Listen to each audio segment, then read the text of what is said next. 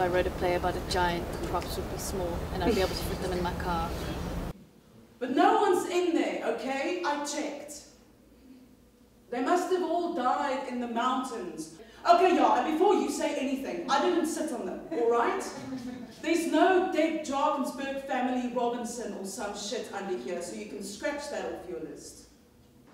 It took me for the time for it to to to write it. Well, not to write it, write it, but for it to live, and then to come to a point where it gets written, and then the the rehearsal process. We had about a month's rehearsal process, and then prop making and administrating and marketing and the whole kind of because yeah, it it took a while. I don't know, less than a year, more than a day. I hope someone's recording all of this because guys at Carte Blanche would be in their norpies for giant woman footage. also, the outrage factor is pretty high. They get a lot of mileage on follow-up stories, I bet. Um, well, this is the first play I've ever written for one person, so it's uh, it is very difficult. The because you have to keep the sense of, of drama or of conflict going all the time.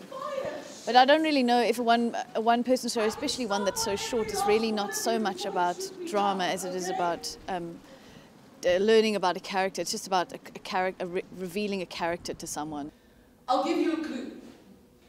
The whole world fits inside it. This is the biggest book they had in the house. And here's the Drakensberg, where we're sitting right now. Me sitting, you pointing guns at me. Uh, yeah, I mean, it is. It takes it takes a lot of focus, like you. But at the end of the day, it's you can't be too precious about it. I'm sorry for the women who love the men I killed. I'm so sorry that they love them. And I'm sorry that I killed them.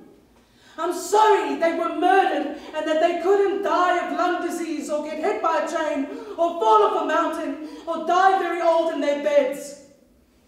And I'm sorry that it was me who murdered them. I'm sorry for myself for being a big murderer when I could have been a small waitress.